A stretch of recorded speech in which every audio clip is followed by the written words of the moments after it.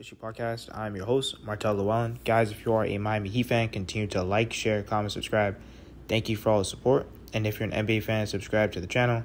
And thank you for all the support. So Erik Spoelstra compares the Ant-Man Anthony Edwards to Dwyane Wade.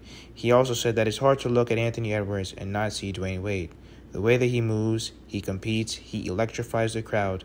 Yes, that reminds me of number three. And for him to talk about the Ant Man Anthony Edwards like that, I think it says a lot because not only is he um, 22 years old, he's averaging 24 points a game, 6'4. He pretty much has a similar type of build like Dwyane Wade. And this is what we got to realize the fact that he is coaching Anthony Edwards during this FIBA tournament is huge. I think that places like the FIBA tournament and the Olympics, players start to form relationship with coaches and vice versa. Think about it. That is why Bam Adebayo has a great relationship with Damian Lillard.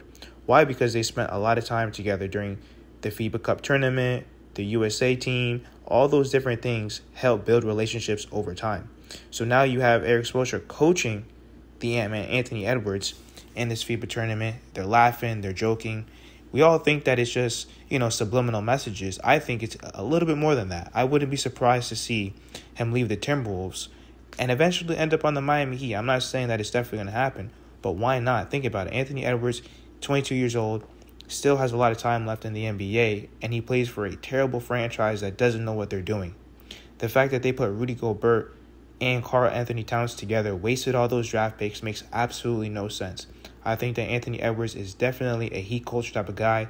He's a guy that can work hard. And like Erik Spoelstra said, he competes. That's huge. Everything about the Miami Heat is competing, defense, hard work, talent, and grit. And that is exactly what Anthony Edwards has. So for a guy at his age, his skill level, and to show flashes of Dwyane Wade, I think that is huge for the Miami Heat. And he could possibly be a Miami Heat future star.